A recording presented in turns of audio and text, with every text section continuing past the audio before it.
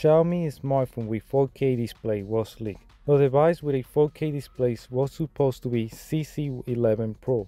The device model was 2109119BC for the Pro variant. The device is supposed to have a display size of 6.55 inches at its resolution at 3840 by 2160.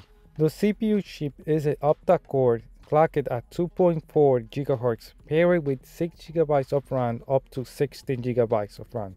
The storage capacity is 64 GB up to 512 GB, a battery capacity of 4400 milliamps. The main camera is a main shooter at 64 megapixel with a pair 2 8 megapixel camera. The colors are red, orange, yellow, green, cyan, blue, purple, black, and white, and pink colors. Apple is gonna ditch the iPhone mini due to the decline in sales. A rumor mentioned that Apple will exchange for the standard iPhone but a bigger display around 6.7 inches, probably would name it the iPhone 14 Max. For example, the standard specs of the iPhone 13 but with a display size of the iPhone 13 Pro Max. For next year, all devices are expected to have a 120Hz LTPO display Apple will remove the notch on the top of the screen in favor of a punch hole camera. For more detail, watch my previous video about the upcoming iPhone 14 series. Also remember that the iPhone 14 will be released next year and company decision might change over time. The iPhone 13 series was released to public recently. News are coming out that suppliers are prioritizing the iPhone 13 series over any smartphone in which include the new Samsung S21. The reason is for the high demand is for the suppliers know that iPhone sales are more stable than Android phones or any smartphone. The price for the Pixel 6 having leaked. The price are more affordable than it was thought, but the price were leaked in euros. For the standard Pixel 6 it costs about 649 and for the Pro variant about 899.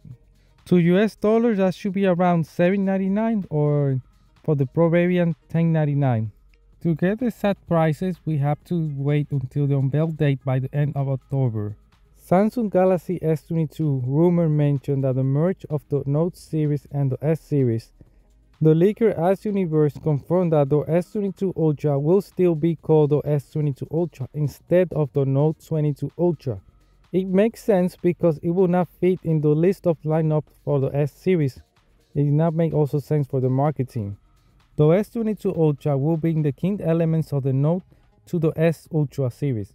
Also, here is more renders of the S22 Ultra and also case renders from the case manufacturers. The S21 FE will skip the unveiling and will release the device to the public directly. The only problem is that the device will release close to the S22 series for the launch date that will be around late January by 2022. The chip shortage is but it might get worse even though the GPUs are higher.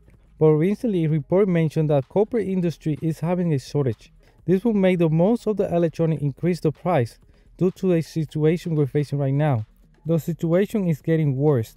To get electronics that include motherboards that use large PCBs with higher layer counts, AMD has released to public their new ambitious plan to reduce by 30% power efficiency of its CPU and Instinct AI accelerators by 2025.